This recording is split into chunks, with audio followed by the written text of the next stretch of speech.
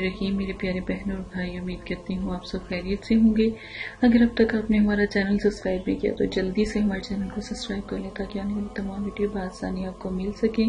अगर आपको कोई मसला है, कोई परेशानी है, कोई जादू जिन्नात या कोई अपनों को, प्यारों को, या अपने प्यारों को मनाने का, या अपने प्यारों तक जाने का, पहुँचने का, जो अमल मैं आपको बताती हूँ उसके लिए आपको चाहिए कि सबसे पहले आप इस्तखारा करवाएँ, रूहानी इलाज का मसला है तो रूहानी इलाज अपना करवाएँ। आपकी बहन इंशाल्लाह आपकी भरपूर मदद करेगी। आज का जो वजीफ़ा है, उससे पहले प्यारी सी अहदीस रोज़े के बारे में, क्योंकि रमज़ान माशाल्लाह आने वाला है, रमज़ान मुबारक की आमद आमद है। रोज़े का मतलब सिर्फ़ भूखा प्यासा रहना नहीं, आँख का रोज़ा हराम ना देखे कान का रोज़ा, हराम ना सुने ज़ुबान का रोज़ा, गाली गीबत चुगली ना करे हाथ का रोज़ा, गलीजा, बुरे, गंदे काम ना करे। तो जैसा कि किसी के ऊपर जुल्म ना करे, पाँव का रोज़ा गलत महफिल में ना जाए, कोई गुनाह का काम ना करे, किसी के साथ झूठ ना बोले, किसी के साथ गाली गुस्ताखी ना करे किसी के साथ आप मतलब कि घर में रोज़ा भी है, टीवी भी चल रहा है, गाने भी सुने जा रहे हैं, सब चीज़ें मतलब कि साथ साथ ही हैं तो ये सब गुनाह है। इन चीज़ों से इज्तनाब करें, ये गुनाह है। आज का जो अमल है बहुत प्यारा है, लेकिन उससे पहले नबी पाक सल्लल्लाहु अलैहि वसल्लम की प्यारी प्यारी अहदीसों के साथ जब मैं आपको सुनाती रहती हूँ, मुझे उम्मीद भी बहुत ज़्यादा है कि इन अल्लाह ताला के करम से आप ये जो जितनी भी मैं आपको आहदी से सुनाती हूँ तो आप ज़रूर लोगों तक पहुँचाएँगे। नबी करीम सल्लल्लाहु अलैहि वसल्लम ने शायद फरमाया, अल्लाह रब्बुल इज़्ज़त के हाँ हर अवतार के वक़्त लोगों की एक तादाद जहन्नुम से आज़ाद कर दी जाती है। और ऐसा रमज़ान मुबारक की हर रात को होता है। सुबहान अल्लाह अफ्तारी के वक़्त जहन्नुम से छुटकारे का जो परवाना है, जो छुटकारा पाना चाहते हैं तो अपने प्यारों के लिए दुआ भी किया करें और ख़ुद के लिए भी ये दुआ करें कि अल्लाह पाक हमारी मगफिरत और रहमत फरमा दे हम पर। अल्लाह पाक के करम के अलावा कौन है जो हमें मुश्किलों से, परेशानियों से निकाले? तो इन चीज़ों का थोड़ा ख्याल रखें। आज की बहुत प्यारे जो है आदेश और उम्मीद है कि मेरे प्यारे बहन भाई लोगों तक ज़रूर पहुँचाएँगे। आज का जो अमल है बहुत खूबसूरत, बहुत प्यारा है। आज अमल का जो मैं तरीका आपको बताऊँगी ये वजीफे की तरह भी है अमल की तरह भी है। कई बातें हो सकता है मुझसे भी आ, मतलब कि जहन में बहुत सारे काम होते हैं प्रेशर भी होता है दिमाग में।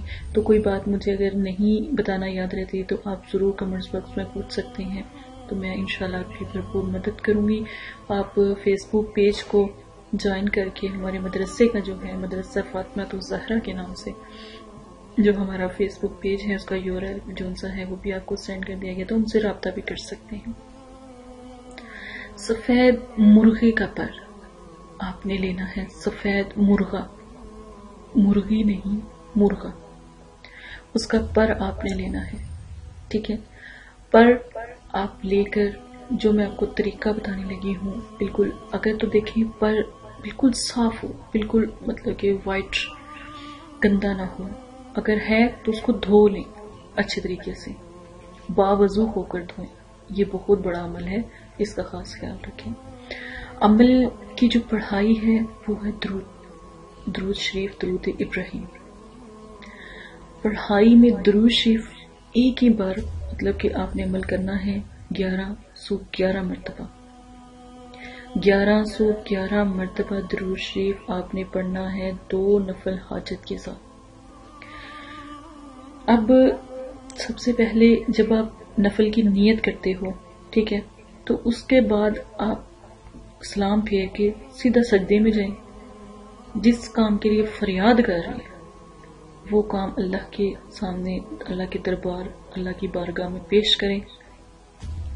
अगर किसी बहन भाई का रिश्ता नहीं हो रहा तो अल्लाह से फरियाद करें कि जो मैं अमल करने लगा हूँ, उसको मौत पर कर दें। नंबर दो अगर किसी का हस्बैंड वाइफ का मसला है या कोई ऐसी परेशानी है बहुत बड़ी ससुराल वालों की फैमिली मेंबर्स की कोई किसी तकलीफ़ पहुंचाता है कोई धोखा देता है कोई आपको बहुत तकलीफ़ देता है उसको मुसखर करने के लिए तस्खीर करने के लिए किसी अपने प्यारे को पाने के लिए। अगर आप पसंद की शादी करना चाहते हैं तब भी ये अमल बहुत आला बहुत लाजवाब है। ज़रूर कीजिएगा अब आपने पढ़ाई द्रुशीफ की कर, करके अल्लाह से दुआ करनी है कि अल्लाह पाक मेरी जो फरियाद है, मेरा नाम ये है, मेरी अल्लाह ताला को पता है, सब पता है, दिलों के हाँ। आपको भी वो जानते हैं, जिसके बारे में आप कर रहे हैं, उसको भी जानते हैं।